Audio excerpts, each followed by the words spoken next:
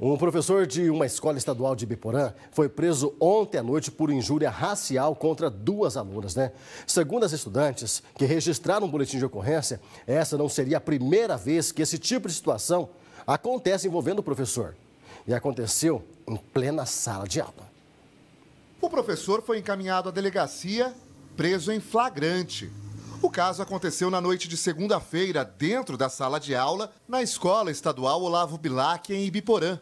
Ele teria ofendido duas alunas adolescentes com falas racistas e usado termos vulgares, dizendo que elas se vestiam como prostitutas. Então, diante de todos esses fatos e até mesmo dos indícios do crime ocorrido, todos foram encaminhados à delegacia, apresentados à, à, à autoridade de polícia judiciária, aonde esse professor acabou sendo autuado e as adolescentes foram inclusive acompanhadas dos pais, da, de alguém lá da coordenação do colégio. Então, a título de justiça, eles foi autuado, está apresentado à, à justiça e agora vai responder aí pelo crime que foi configurado. A acusação é de injúria racial, que no direito penal é o comportamento típico de quem tem o objetivo de ofender a dignidade ou desmoralizar alguém, discriminando por raça, cor ou origem.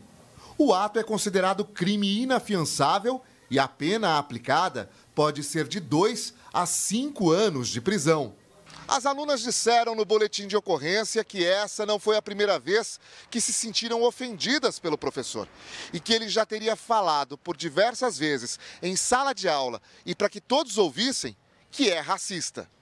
Enquanto era conduzido à delegacia, o professor teria dito aos policiais que as alunas se vitimizam e que, quando criticou o jeito delas se vestirem, estava falando em um contexto geral e não pessoal. O que os policiais verificaram lá no local é que realmente haviam indícios, havia reclamação, havia, havia denúncia da, da, das alunas e havia versão do professor. E diante de tudo, cabe agora à defesa desse professor também ir a juízo, né? Ele acabou de, da forma legal sendo conduzido, autuado e agora vai responder na justiça por essa prática.